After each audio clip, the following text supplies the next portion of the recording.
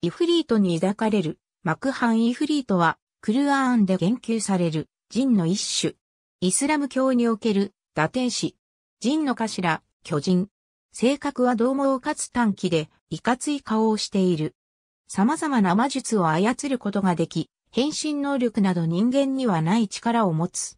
特に、炎を自在に操れるという。西洋の文化圏では、異教の神々を悪魔とすることがあり、その恐ろしげな姿も手伝ってか、悪魔とされる。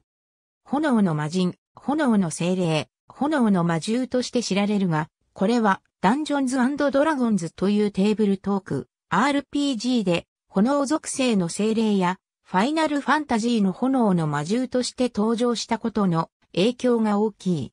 もともとは炎という属性だけに限定されるものではない。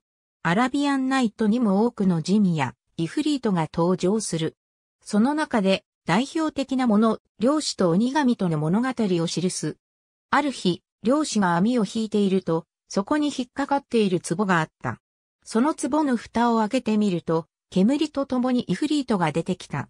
その恐ろしげな巨人は、出してくれた漁師を食い殺そうとする。長い間、壺に閉じ込められていたイフリートは、そのことに怒りを覚え、最初に壺の蓋を開けたものを食い殺そうと決めていたのだ。しかし、イフリートは漁師に本当に壺に入っていたのか証拠を見せろと問われ、自ら壺の中に入ってみせた。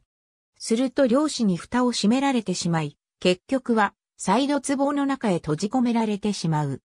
また、アラジンと魔法のランプに出てくるランプの聖や指輪の聖もイフリートである。ありがとうございます。